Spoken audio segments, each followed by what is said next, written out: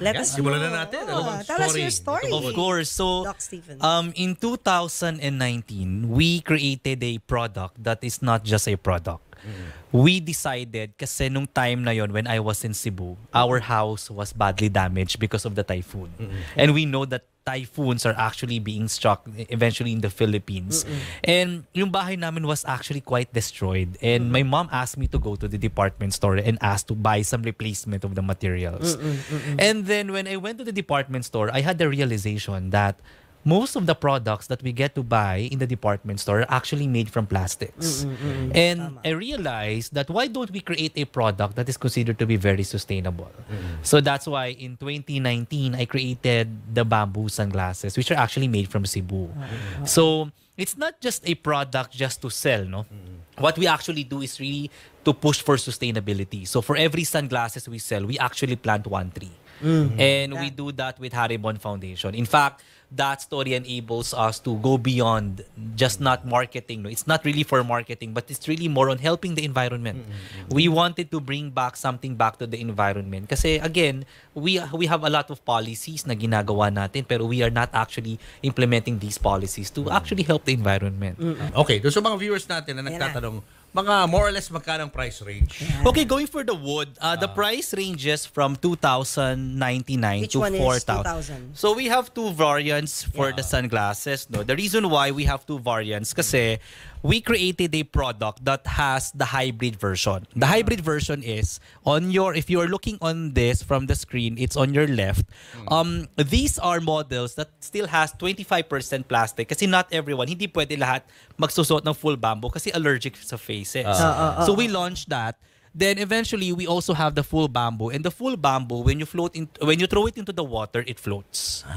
So that is something that we are very proud of. So you know we have 33 variants now and again for every sunglasses we sell 10 to 15% of the of the sales goes to tree planting and recycling good, plastics that's good. together with Haribon Foundation. So waterproof yan, yung mga ano, bamboo Yes. So shades. yes. So the sunglasses actually are waterproof. Uh-huh. Um, it has to go through several quality testing phases and also the lenses as well. Oo. So alin dyan yung ano, yung mas mataas from the So, lowest to the highest in price so, range? Okay, the price ranges. So the cheapest would be this one. This is the Oriza. And the most expensive would be on your left. So these Yeah. are the full bamboo together with this one. Actually, in Siargao, um, when you land in Siargao, it's the number one brand already because they have some campaigns against plastics. Yes, so we are the yeah. only brand that were able to penetrate that. Even actually in Boracay, in Station Zero, like uh, Movenpick and, and Shangri-La and Crimson, and even in Yeah. Balisin.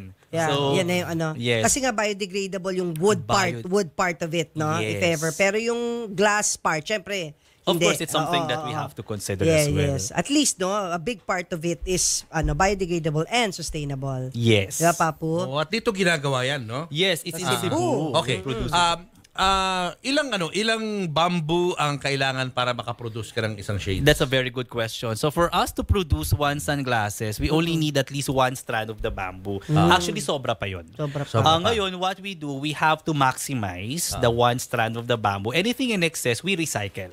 So at least we were able to maximize. How do you recycle? So we cons- we consolidate, then yung some parts can be produced to another sunglass. Yeah. So para hindi siya nasasayang. Oo. Gaano katagal bago ano, bago mabuhay ang isang isang Bago bamboo? tumaas, it, it, it mag-grow. takes a lot of time kasi the the the wood, the bamboo is a specific type of wood that is very durable. It's very sturdy, hindi yan kaagad-agad nababali. That's why it's one of the abundant resources that we have. So usually tumatagal yung mga minsan nga it takes at least 8 to 10 years or more. So medyo matagal siya. Tagal. So kailangan tanim ka ng tanim, no? That's why we have to continuously do tree planting initiatives. Sana-